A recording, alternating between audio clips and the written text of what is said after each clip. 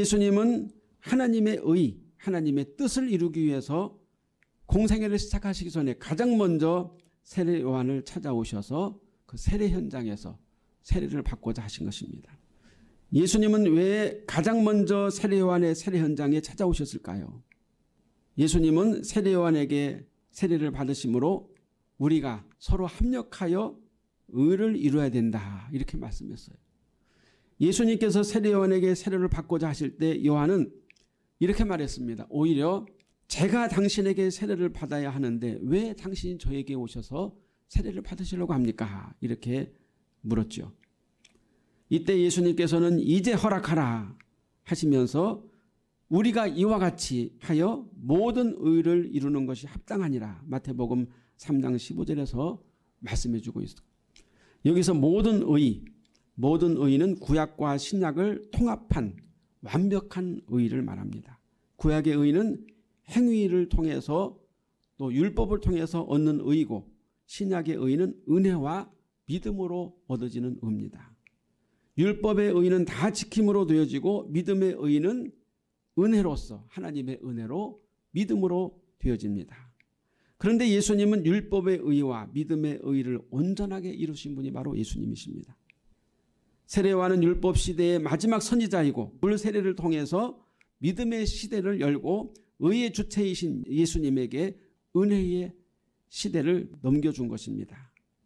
예수님은 인간의 몸으로 세상에 오셔서 난 지 8일 만에 할례를 받으시고 모든 율법을 다 지키시고 또한 은혜 시대를 여는 세례를 받으심으로 구약과 신약의 모든 의를 완전히 다 관통하셨다. 이렇게 우리가 볼 수가 있습니다. 예수님과 세례 요한은 세례를 통해서 율법과 은혜로 의를 이루는 완전한 사역을 함께 이루게 된 것이지요. 세례 요한은 율법 시대의 마지막 선지자이고 예수님은 믿음으로 또 은혜로 얻어지는 의의 시대를 여는 첫 번째 주자로서 예수님과 세례 요한이 서로 합력하여서 완전한 의의 사역을 이루시게 된 것입니다. 이것이 합당하다 이렇게 예수님께서 말씀했어요. 여기서 합당하다는 그 단어는 그냥 좋다, 옳다 이런 뜻이기도 하지만 망로 꼭대기에 서 있다. 탁월하다, 정당하다. 우리가 이제 등산을 하게 되면은 중간에 올라가다가 내려오는 사람도 있지만 또 끝까지 올라가죠. 정상에까지 올라가는데 마지막 정상에까지 올라가면은 그 등산의 기쁨이 있어요. 정복했다. 아, 내가 마지막까지 힘들지만 꼭대기까지 올라왔구나. 거기서 큰 소리로 이제 함성을 지르죠. 바로 그 막루 꼭대기. 즉 예수님과 세례 요한이 만남으로 하나님의 구원사에게 절정 막루 꼭대기에 올라서게 되었다. 하나님의 구원사에게 완성인 그 구원의 산꼭대기에 맨 위의 정상에 예수님과 세례 요한이 서로 서서 만나게 된 것입니다. 이제 허락하라. 이렇게 주님께서 말씀했는데 이제 허락하라는 뜻은 때가 왔다. 하나님의 때가 됐다는 것입니다. 다시 말하면 세례 요한이 예수님에게 모든 의를 넘겨줄 때가 되었다. 그래서 허락하라 이렇게 예수님께서 말씀하신 것입니다. 그런데 우리가 보면은 세례 요한이 예수님에게 모든 권한을 넘겨드리고 의를 넘겨드리면은 예수님이 굉장히 기분이 좋으실 것 같죠. 예수님이 마치 대단한 어떤 그런 영광을 받으실 것 같지만 실상은 여기서 허락하라는 원어의 뜻은 고난당하다, 고통받다는 뜻이에요. 예수님께서 이제 허락하라 하는 뜻은 내가 고통받도록 나에게 너의 바톤을 넘겨달라 이런 뜻이죠. 그 예수님께서는 고난받으실 고통받으실 각오를 하시고 세례원에게서 모든 의를 넘겨받으신 것입니다.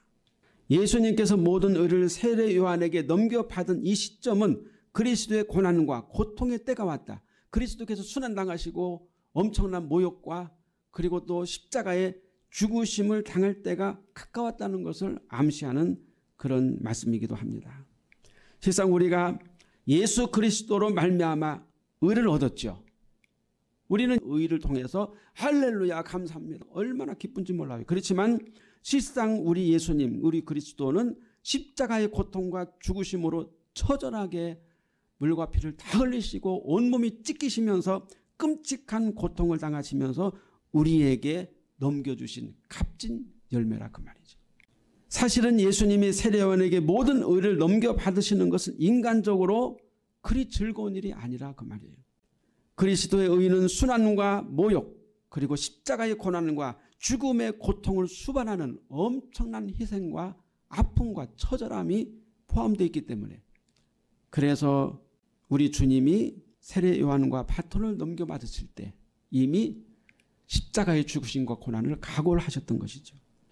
아마도 세례 요한도 역시 자신이 베푼 세례를 통해 드러나실 그리스도가 어떤 고난과 죽음을 당하실지 분명히 이 세례 요한도 성령으로 알았을 것이라고 봅니다.